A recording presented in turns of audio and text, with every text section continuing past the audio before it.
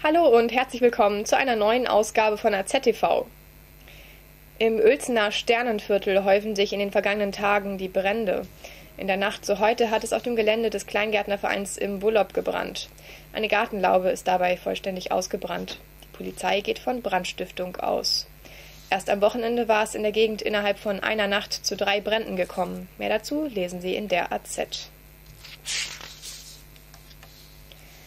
Den 13. Mai 2014 werden sich in Küchweihe ganz sicher viele rot im Kalender anstreichen.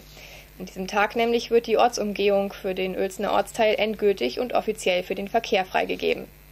Wir haben fast eine Punktlandung hinbekommen, denn fast auf den Tag genau nach zwei Jahren Bauzeit können wir Einweihung feiern, freut sich Dirk Möller, Leiter der Landesstraßenbaubehörde in Lüneburg.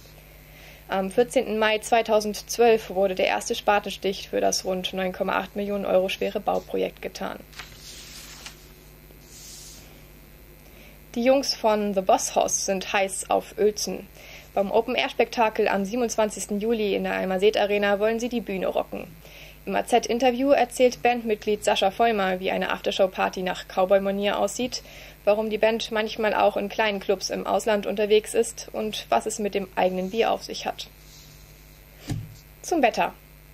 Heiter bis sonnig wird das Wetter am Donnerstag. Dabei bewegen sich die Temperaturen zwischen 7 Grad am Vormittag und 15 Grad in den Nachmittagsstunden.